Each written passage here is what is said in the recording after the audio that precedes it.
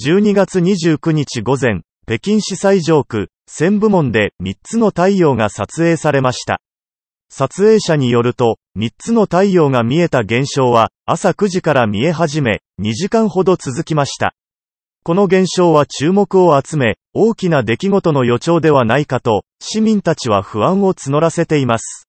3つの太陽を撮影した動画は、その後ネットに載せられ、動画では、線部門の上空に3つの太陽が現れ、中央の太陽が最も眩しく輝いており、両側の小さな太陽も明るい光を放っている様子が映し出されていました。12月29日午後10時時点では、ウェイボーに掲載された北京の空に3つの太陽が出たことに関連する記事は、18万2000人の注目を集め、人々の間で議論が交わされていました。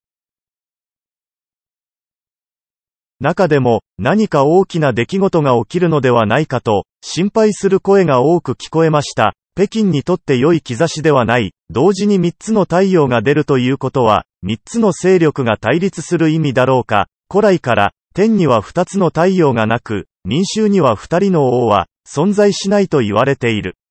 3つも太陽が出てくるなんて、あり得るのか、逃れることのできない災いの前兆だ。